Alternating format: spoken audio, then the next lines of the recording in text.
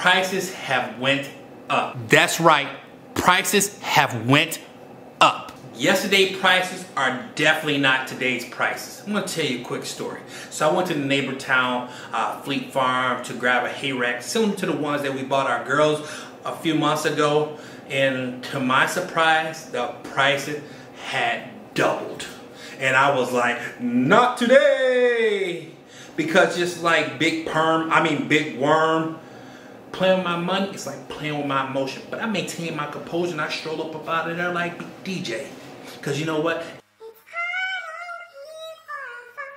There has to be a cheaper way. And as I got into my car and I was driving off, I had a eureka moment. And so I'm gonna go, go through this hay rack that I'm gonna build that I think will work and it's gonna work a lot better than the one I was gonna pay a lot of money for. And on top of that, most of the stuff is stuff I had at home. So I didn't have to spend very much money. Let's get over here to my makeshift workstand and I'll show you guys what we're working with. All right guys, so we're over here at my makeshift workstand. Um, kind of on my knees, so bear with me. Um, what you'll need for uh, this hay rack is more than likely stuff that any homesteader or farmer already have on their property. The first thing you're gonna need is a couple 2 by fours cut at any size that you want. I cut mine here at 20 inches. Also, you'll need some construction fencing or you use this as well as as a windbreak or snow break. So you'll need some of that.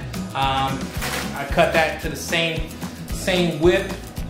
Next thing you'll need is a hook,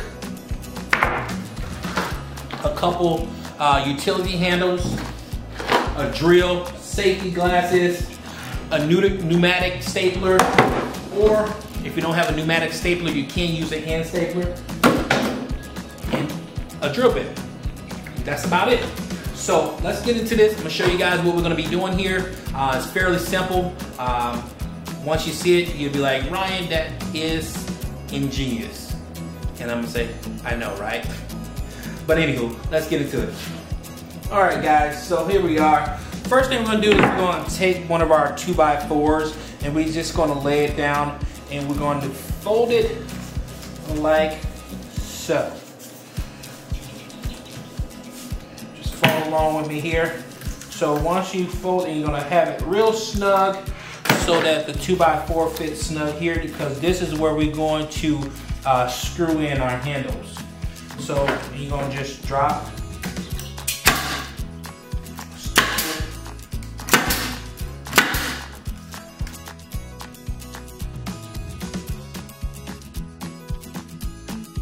I to fold it in inside here and just drop a staple in there as well.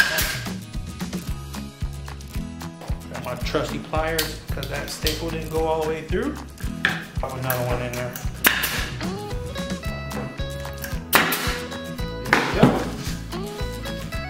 Now we're gonna flip it over and we're gonna do the exact same thing on the other side.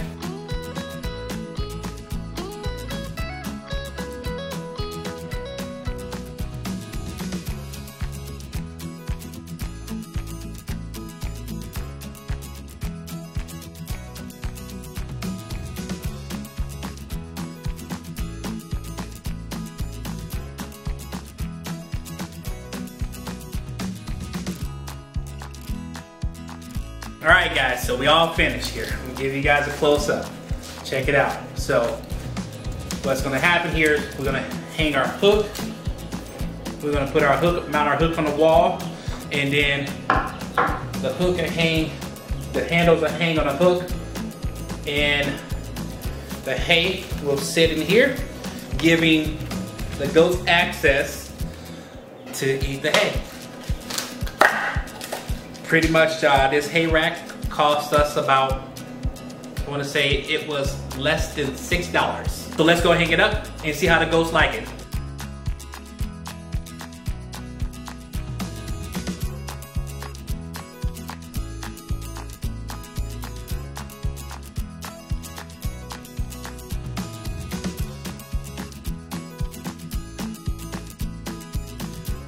All right, guys, as you can see, that is goat approved. Um, I went on and made a second one for the girls as well.